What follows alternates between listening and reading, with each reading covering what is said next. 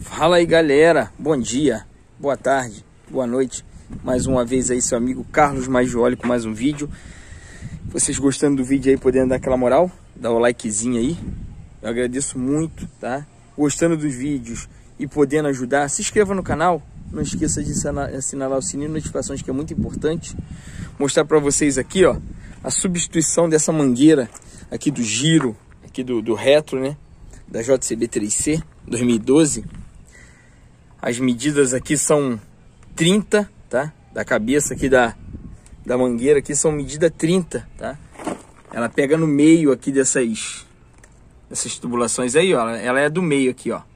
Direção que eu botei a mangueira aqui, ó. Tá? Ela pega aqui na base do meio e vai lá pro comando, tá? Ela estourou e eu vou fazer a substituição dela, tá? Aqui você utiliza essa chave 30 para afrouxar esses, esse suporte aqui de borracha é chave 18, tá? De boca. E eu irei fazer a substituição e daqui a pouco eu mostro para vocês. Eu tirei já ela, tá? tô com ela em mãos aqui. E irei colocar. Para você colocar ou tirar ela, você precisa tirar a mangueira de baixo, tá? Que é a chave é, 26. Essa mangueira de baixo aqui, ó, essa aqui, que pega aqui na, embaixo nessa rosca aí, ó tá? É chave 26, para você ter acesso, você tira ela para você ter acesso à mangueira do meio, tá? Daqui a pouquinho eu volto aí mostrando para vocês aí a colocação da nova mangueira. Um abraço, hein? Fala aí, galera, voltando aí com o vídeo aí, ó. Já coloquei a mangueira lá. Chave 30, tá? Aqui no meio aqui.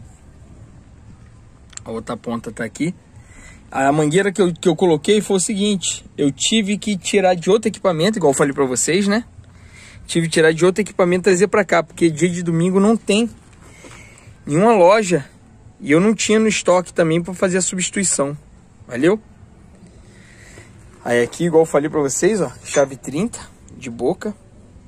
Para vocês conseguirem colocar essa mangueira no meio, vocês têm que frouxar a de baixo, tá? Aqui, nesse conjunto de mangueira, a única diferente é essa daqui. O resto são tudo 26, tá? Esse aqui é 30. Valeu?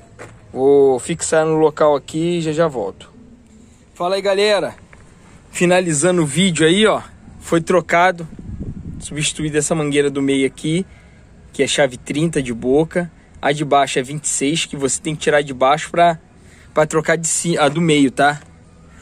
E uma uma dica para vocês quando vocês frouxarem essa do meio aqui, tirarem ela, verifica essa essa polca 28 aqui, do meio aqui é 28, tá? Que segura aqui essa, esse pedaço de rosca aqui, esse nipson que emenda uma mangueira na outra. É bom sempre vocês dar uma apertada aqui, ó, porque ela frouxando fica muito ruim para vocês conseguirem apertar a mangueira, tá? De chave 30 aqui. Valeu, galera? vocês gostando do vídeo aí, daquela moral, entendeu? Podendo aí é, se inscrever no canal, eu agradeço muito. Compartilhar aí com seus grupos de zap, que hoje em dia o zap, né, é, é mais fácil. Você vai lá, clica, copia e cola lá o link lá e pede aí pros amigos compartilharem. Eu agradeço muito, tá? Hoje nesse domingo aí, que infelizmente não tem descanso. O negócio é tem que tem que trabalhar, tem que consertar equipamento para segunda. Outra dica também para vocês, ó, é, estourando a mangueira dessa daí, vazando óleo, o que que vocês fazem? Alinha a caçamba dianteira, tá? Deixa ela alinhada aqui assim, ó, nivelada, tá? Recolhe o braço total, recolhe as sapatas, fecha a caçamba e vê o nível do hidráulico essa daqui pegou 5 litros, tá? Pegou 5 litros, eu marquei aqui. Olhei, eu coloquei 5 litros. Valeu, galera?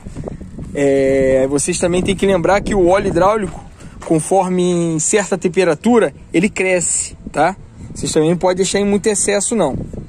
Um abraço aí do seu amigo Carlos Maggioli. Tamo junto, galera.